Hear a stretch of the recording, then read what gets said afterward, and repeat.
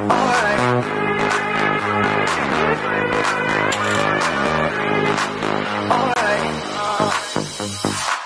the hood, grab the keys, baby. Who you trying to please? I just wanna drive you.